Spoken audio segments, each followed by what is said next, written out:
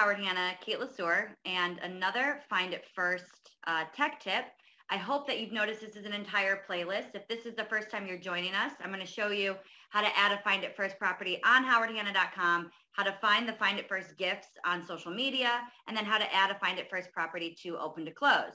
So this is the easiest one. This is the exclusive listings um, on RealScout.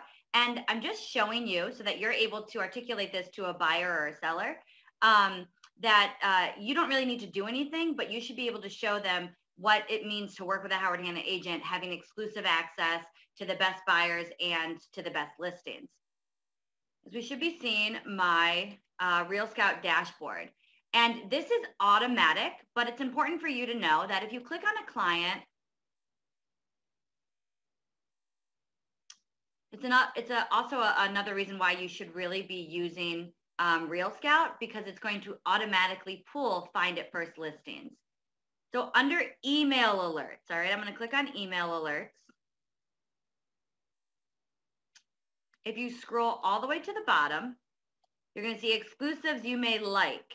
All right. And this will always be clicked to enable. But I want you to be able to tell your buyers or your sellers that we have this feature. And what will what will the buyer see when they uh, get an exclusive listing post? They will see this. You've got exclusive access as a Howard Hanna agent, and then your name uh, has access to find it first listings. And you want to be able to say that these are ones before they really hit the market um, you can click to view all exclusives. So it wouldn't just be in maybe the area that they're looking, but they could see everything available.